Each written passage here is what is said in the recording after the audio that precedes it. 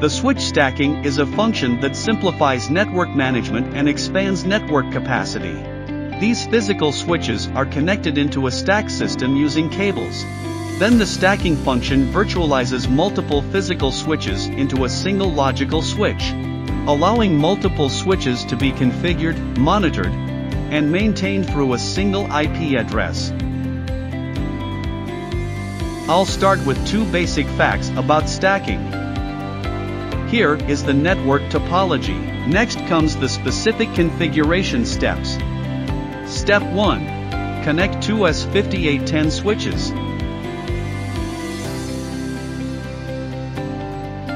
First, use a 10G DAC cable to connect the two switches via the 10G port, and you can see the green light is blinking.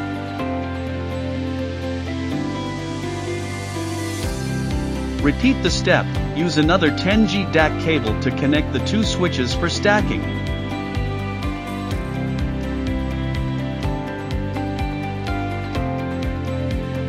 Step 2. Access to the CLI.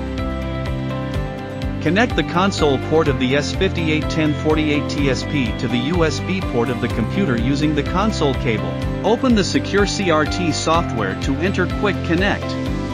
Protocol select, Serial. Port select, COM7 USB serial port.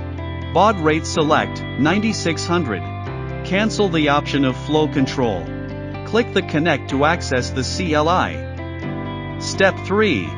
Configure stacking of S5810-48TS-P switch 1. Configure stacking attributes of switch 1. Create domain ID as 100. Create the stacking member number as 1. Configure the stacking member priority to 200. According to the priority number, it can be elected as the master.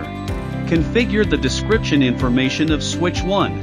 Configure VSL port CRC error checking parameters.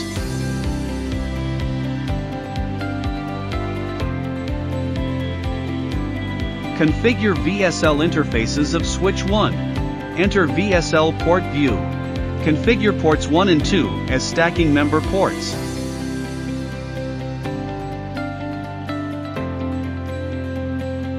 Step 4.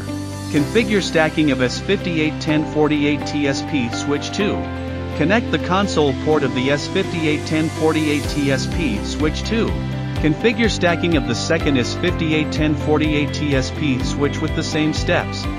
Configure stacking attributes of switch 2. Configure VSL interfaces of switch 2. Enter VSL port view. Configure ports 1 and 2 as stacking member ports.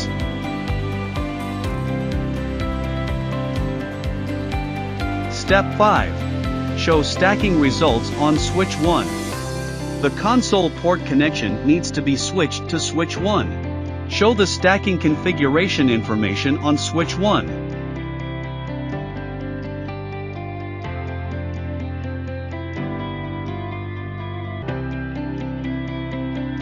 Here you can see that the stack has been formed.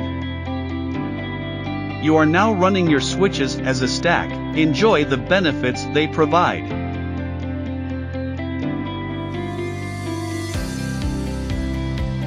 For more information about S5810 series switches, please visit fs.com.